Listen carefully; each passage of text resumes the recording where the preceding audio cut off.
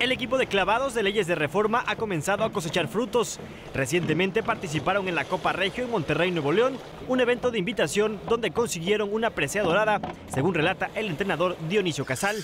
Yo tuvo eh, con la niña Silvana Pomar, medalla de oro, y Daniela eh, Vela, cuarto lugar, así que, que los lugares estuvieron bien. Eh, Angélica también un buen lugar, Carla un buen lugar, eh, Joaquín, es decir, que todo el equipo, para que no se me quede nadie, eh, tuvieron un, buen desempeño.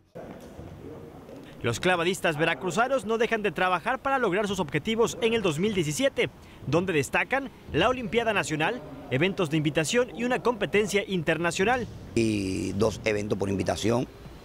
Tenemos el Campeonato Nacional, la Olimpiada en julio y tenemos también la Olimpiada de Cuba en julio para los, el equipo que no pueda participar por la edad a la Olimpiada Nacional. Eh, estamos preparándonos para ir a Cuba a este evento que es un evento fuerte y bonito. Actualmente son más de 25 clavadistas infantiles que se desarrollan en leyes de reforma. Para más deportes, Elías de los Santos.